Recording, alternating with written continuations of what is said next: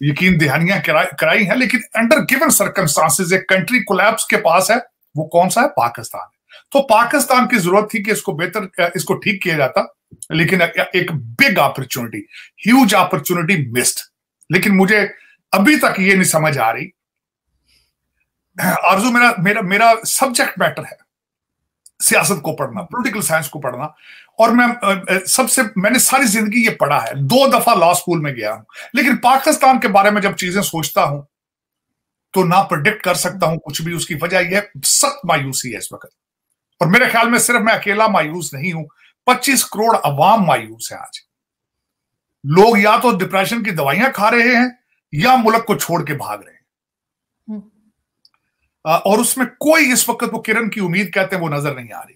जिस तरीके से इमरान खान पे पहले लोगों ने शर्तें लगाई थी, और जब से उन्होंने उस्मान बजरिया उस्मान बुजदार जो उन्होंने पाकिस्तान को धोखा दिया मेरे ख्याल में, उसके बाद अब लोगों के हौसले पस्त हो चुके दूसरा मैं यहाँ पे ये बताना चाहूँगा कि अफसोस के साथ अफसोस के साथ है कि जिस तरह हम पहले बात कर रहे थे, आज जो हादसा जो रैलियाँ निकल रही हैं और जिस तरीके से खान साहब ने अगले दिन काले चश्मे पहन के पाकिस्तान को फिर उन्होंने चैलेंज किया है, उसमें तीन चार चीज़ें मैं ऐड करना चाहूँगा, आरज़ू, जो पाकिस्तान के लिए इंतहाई खतरनाक एक तो खान साहब ने अपने सियातों ने समझ ही नहीं आती कि मैंने पहले क्या कह चुका हूँ। पहले वो कहते रहे हैं कि मुझे फलां मरवाने की कोशिश कर रहा है, मुझे फलां मरवा रहा है, जरदारी साहब ने पैसे दे दिए हैं लोगों ने रिसीव कर लिए हैं। किसी नजूमी ने उनको बता दिया तुम्हें अदालत में मारा जाएगा किसी नजूमी ने उनको कह दिया तुम्हारे सर में गोली लगेगी तभी तो बाल्टी लेके फिर रहे लेकिन उस दिन उन्होंने व्हील चेयर पे बैठ के बात कर दी। उन्होंने कहा मुझ पे पहले दो हमले भी डर्टी हैरी ने किए थे और अगला हमला भी वही करेंगे बिल्कुल ऐसे बहुत, बहुत बड़ी बात की उन्होंने। हम्म। एक सर्विंग आर्मी जनरल के ऊपर उन्होंने इल्ज़ाम लगाया है। मैं कहता हूँ बहुत बड़ी बात है। इस, इसके ऊपर रिएक्शन होना चाहिए या तो वो प्रूफ दें या उनके ऊपर केस होना चाहिए। लेकिन वो नहीं होगा कौन पाकिस्तान लाडला है वो देखे ना आठ मिनट आठ मिनट में आठ जमानतें होती हैं उनकी वो उनको कौन पूछता है? आ, और दूसरा उसमें जो उन्होंने बात की है उस दिन भी कि मगरब के वक्त लोग बाहर निकलें और चीफ जो चीफ जज है उसको चीफ जस्टिस उसको सपोर्ट दे। भाई आप मुझे ये बताएँ चीफ जस्टिस को फैसले लोगों के बाहर निकलने से सियासी पार्टी के बाहर निकलने से उसको इस पे इस पे फैसला करना चाहिए? चीफ जस्टिस के पास गाइडलाइन मौजूद है कानून ला की किताबें मौजूद हैं उनके ज़रिए उसने फैसला करना है। या उसने गिनती करनी है कि पीटीआई के कितने वर्कर बाहर निकले हैं और मैंने फैसला देना लेकिन फिर उसमें ये मैं और छोटी सी बात बता बिल्कुल सही हो रहा है जो कुछ भी हो रहा है जिस जिस कंट्री के अंदर जिस कंट्री के अंदर हम्म। एक दादी नानी पाँच बच्चों की माँ एक ऑक्सफोर्ड ग्रेजुएट को ये यकीन दिला दे कि तुम मैं तलाक लेके तुमसे शादी करूँगी और तुम वज़ीर आज़म बन जाओगे। हम्म। और उसने कर ली।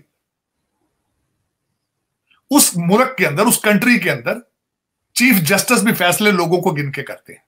मैं यहाँ पे एक ये बात आपको बताना चाहूँगा इसी कंट्री का एक चीफ जस्टिस है उसने हर जाने के इस केस में ये रिसेंट हिस्ट्री में उसने कहा था मुझे रात में खाब आई थी कि तुम पे इतना जाने का तुम्हारा केस बनता है।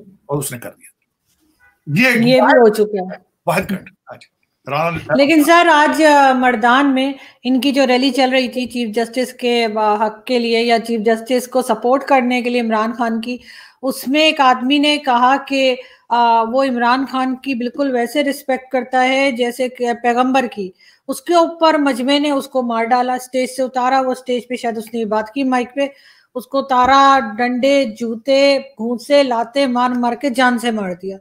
ये तो हाल है यहाँ पे लोगों देखें जब ये मैं मैं आपको हमेशा ये कहता हूँ मुझे दुख होता है। दुख इस बात का है आज यहाँ पे हुआ है तो आज से दो हफ़्ते पहले जो खान साहब के सामने वो बच्चा खड़ा करके उसने कहा था ये हमारे पैगंबर के बाद दूसरे नंबर पे सबसे खुशकिस्मत इसके माँ बाप जब स्टेज पे एक पहले खातून ने कहा था इक्कीसवीं सदी का पैगंबर है ये। हम्म। तो उस वक्त मेरा मतलब ये तो फिर जो आप बोएँगे गंदम बोएँगे तो गंदम काटेंगे। जब आप कौम को देखे ना सारी दुनिया ने जिहाद छोड़ दिया जहाँ से इस्लाम शुरू हुआ उन्होंने छोड़ दिया हम्म।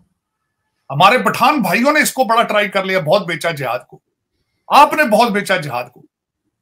लेकिन अब देखें मैं मैं जिस मैं मेरी मैं, एक इंडियन इंस्टीट्यूट ऑफ़ टेक्नोलॉजी से पढ़ के बंदा आज वर्ल्ड बैंक का बन गया लीडर अजय बंगा।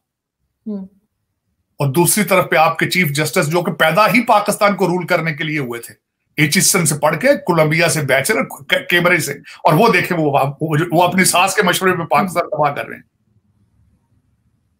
देखिए तसाद देखें कि पाँच पाँच सौ साल पुराने इंस्टीट्यूशन चार चार सौ साल पुरानी यूनिवर्सिटियाँ उनके सारे तजर्बे एजुकेशन फेल हो गई आपके ऊपर। देखें आपकी डायरेक्शन क्या है? लोग यहाँ से पढ़ के आके चार चार सौ पुराने स्कूलों से क्या सीख के जाते हैं? करप्शन क्या सीख के जा रहे हैं मनी लॉन्ड्रिंग क्या सीख के जा रहे हैं अपनी मादरे मिलत के कपड़े फाड़ने? और भारत इंडियन इंस्टीट्यूट से लोग पढ़ के आके आज वर्ल्ड बैंक का वो अजय बंगा वो उसका बिल्कुल हाँ। लेकिन यहाँ पे सर कुछ ऐसा नहीं दिखाई दे रहा। सर उल्टा लोग ये भी कह रहे हैं कि बिलावल भुट्टो जरदारी की वापसी के बाद जो है बहुत से लोगों का कहना है मुझे नहीं पता कहाँ तक सही है कि इंडिया के साथ टर्म्स मजीद खराब हो गए। अब बिल्कुल खराब ही है जाके वहाँ पे देखे ना क्या हुआ है उस पर ब्लेम गेम ही हुई है ना। ब्लेम गेम हुई उधर से भी हुई इधर से भी हुई सारे। तू तू मैं मैं वो जो खासकर इंटरव्यू था सर डसाई वो जो है उनके साथ जी बड़ी उसके अंदर। जी। उधर से उन्होंने कहा कि जब भी हमारे वाजपेयी गए हैं तो हमें वहाँ पठानकोट मिला जब मोदी साहब गए कारगिल मिला इन्होंने कहा जी हमें कलपोषण यादों मिला और हमें उसके बाद समझौता एक्सप्रेस का वो तो दोनों तरफ़ से ब्लेम गेम है सारी और कुछ भी नहीं। यहाँ उतरते गए हैं तो बड़ी हीटेड उन्होंने प्रेस कॉन्फ्रेंस कर दी। वो एक जर्नलिस्ट ने सवाल किया कि नहीं आप जिस मुल्क में गए थे, वहाँ पे आप तो आपके तो सर की कीमत है। इस तरह के सवाल के जवाब और बल्कि, लेकिन मैं, मेरा जो एक, मेरा जो है, आरज़ू, मैंने आज एक ट्वीट भी किया। देखिए, इस ब्लेम गेम इधर से, उधर उधर से, इधर, इससे आप आगे नहीं बढ़ सकते। इससे आप आगे नहीं बढ़ सकते। ये फैसला करना होगा, जो भी पाकिस्तान के फैसले आज कर रहा है, उसको फैसला करना होगा। आपका फ़ायदा है कि आपका नुकसान है भारत के साथ रिलेशनशिप ये सोचना पड़ेगा।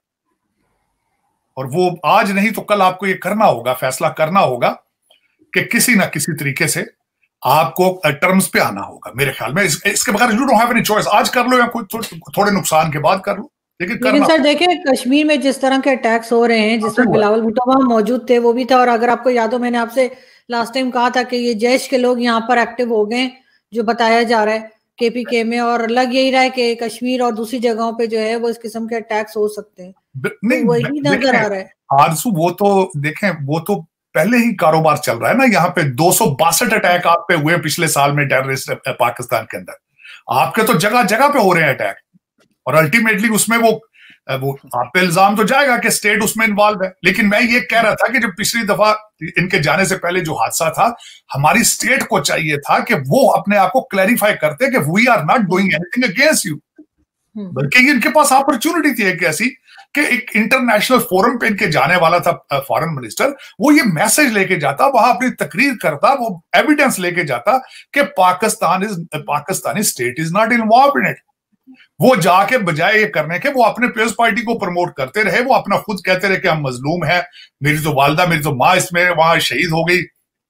और मेरी आज तक आपने तस्वीर कभी देखी किसी के साथ? हमारी पार्टी जो है दहशत गर्दी को सपोर्ट नहीं करती। भाई यार, पाकिस्तान का केस लड़ते आप, पहले भी जहाँ जाते हैं तो आप पीएस पार्टी और अपना केस लड़ते हैं।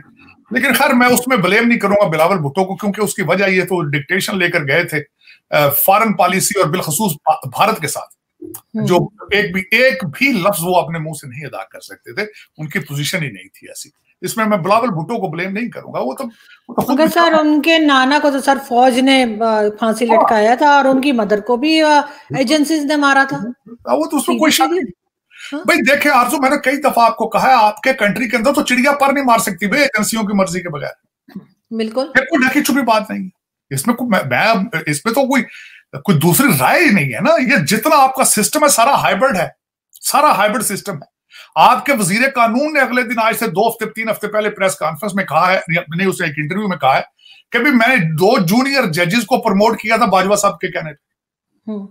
असम्बलियाँ अमीरुल मोमिन फरमा रहे हैं कि मैंने दोनों असम्बलियाँ तोड़ी हैं बाजवा के कहने पे।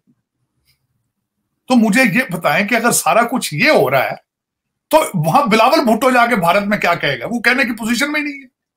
वो तो पॉसिबल ही नहीं है। लेकिन जो भी फैसला कर रहा है पाकिस्तान का जो भी मकसद है तो कोई पा, पाकिस्तानी ना मुझे बल्कि एक दुख है इस बात का है आपके चलाने वालों के पासपोर्ट पाकिस्तानी लेकिन वो पाकिस्तानी नहीं है। आप लंदन से ऑपरेट होते हैं। लंदन से ऑपरेट होते हैं। शहबाज शरीफ भी तो अभी लंदन ही पहुँचे हुए हैं। देखें के तकरीब में हिस्सा लेने। जी। खान साहब के बच्चे वहाँ उनकी प्रॉपर्टियाँ वहाँ उनकी सारी जायदादें वहाँ। आपका तो लंदन है आप तो आज़ाद हुए ही नहीं ना। आपने तो मैंने कई दफ़ा चीख चीख के कहा आपने तो पाकिस्तान बनाया ही नहीं भाई। ये फाइलों में बनाया था आपने। मेरे जैसे बंदों को आपने धोखा दिया धोखा इस तरह दिया कि रोज कहते हुए इस्लाम का किला है। ये तो ये तो जी ये कहते हैं ये टूटने के लिए नहीं बना था अलग कतर में टूट गया वो। टूट गया वो। बिल्कुल बिल्कुल। कहते इस्लाम के नाम पे बना था इस्लाम का किला है तो इसको तो कुछ छेड़ ही नहीं सकता ना। हम खुद खाएँगे सारा लूट लूट के सो वो कतर में टुकड़े उसके दो गए फिर मुसलसल मेरे जैसे बंदों को कहा, कहा गया ये कोई अभी इंडिया अटैक कर देगा अभी इंडिया हमला करेगा भारत खा जाएगा खा जाएगा। चार जंगें की चारों की चारों आपने खुद शुरू की। अब इसके बाद अब मैं अब मैं ये फैसला करने वालों से पूछूँगा या तो उन लोगों को सजा दें जो ये कहते रहे हैं कि हमारे टैंकों को जंग लग चुका है हमारे पास जंग लड़ने के लिए डीजल नहीं है या तो इसको क्लैरिफाई करें। अगर क्लैरिफाई नहीं करते तो भारत से रिलेशनशिप ठीक करो अपने हम्म। ठीक करो आगे जितनी यहाँ पे ट्रेड शुरू करो यार। को पाकिस्तान के अंदर महँगाई कम हो इस वक्त एशिया में सबसे महँगा कंट्री आपका है। श्रीलंका से भी ज़्यादा महँगा आपका कंट्री लोग गुर्बत से भाग के छोड़ छोड़ के मुल्क भाग रहे हैं यहाँ से।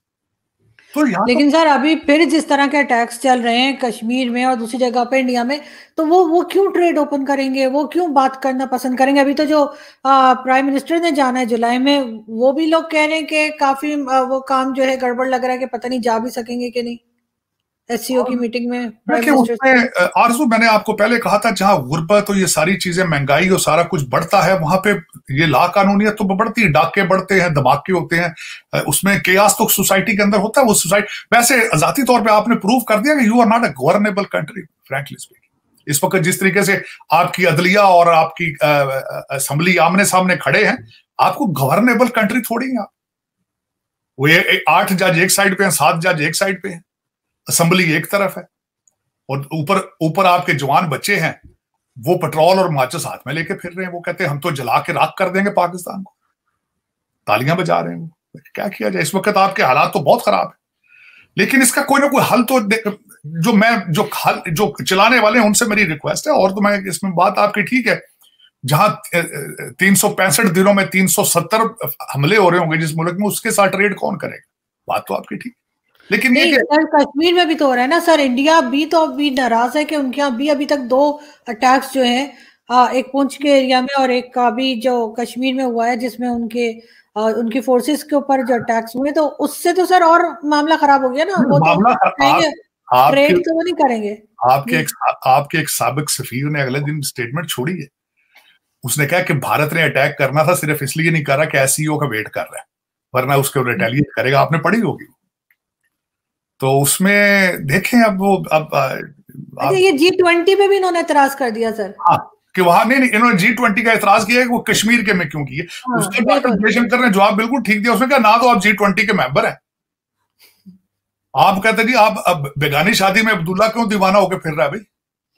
तो दूसरा लेकिन ये मैं कहूँ कि वो मज़ा नहीं आया इसमें क्योंकि चले मैं मैं तो पहले ही कहता था इनको जाना नहीं चाहिए था। जब आप कोई कोई एजेंडा लेके ही नहीं जा रहे कोई जाके बात ही नहीं कर सकते हो। बार बार आप कह रहे हो कि कि जी, मैं एस e के लिए गया हूँ एस e के भाई वहाँ एस e आपकी फूफी लगती है वहाँ आप ना तो उसको कुछ दे सकते हैं एस को ना ले सकते हैं।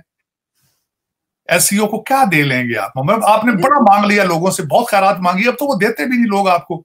तो ले, अब क्यों गए फिर आप? पैसा जाया करने के लिए गए। सर ना गए होते तो भी लोग कहते हैं कि डर गए शायद आए नहीं डर के डर के कौन सा ये कौन सा मेरा मकसद है वहाँ पे दलेरी दिखा के वर्चुअल कर लेते हैं। जहाँ पहले भी जाते तो वर्चुअल पहले भी हर जगह वर्चुअल यहाँ पे अमेरिका में अब कॉन्फ्रेंसों में नहीं आते यहाँ भी तो वर्चुअल करते हैं यहाँ वो भी कर लेते हैं। जाने का क्या मुझे कोई बता दे ऑब्जेक्टिव क्या हासिल क्या किया उन्होंने वहाँ जाने से? क्या किया एक वो उल्टा सीधा सा इंटरव्यू है उसमें ईटीडी से डिस्कस डायलॉग करके आ गए। वरना मेरे ख्याल में आपकी बात बिल्कुल मैं एग्री कर रहा हूँ। जो जिन हालात पे खड़े थे आप उससे भी दो फीट पीछे चले गए। बल्कि आपने बजाय ठीक करने के हालात मजीद खराब कर दिए और ज़्यादा आपने आपको एक्सपोज किया। ज़्यादा मैं मैंने मैं खुश नहीं हूँ मुझे तो खैर अफसोस है दुख है क्योंकि मैं आपको पता है कि मैं सबसे बड़ा एडवोकेट हूँ कि इन दो ममालिक के अंदर रिलेशनशिप ठीक होनी चाहिए। मेरे मैं सबसे बड़ा लेकिन सर आने जाने से ही तो ताल्लुकात बनेंगे ठीक है। अभी पहला ट्रिप इनका विज़िट था वो अच्छा नहीं रहा हो सकता है नेक्स्ट विज़िट जो प्राइम मिनिस्टर का उसमें क्योंकि नवाज़ शरीफ की तो एक नवाज़ शरीफ साहब की तो एक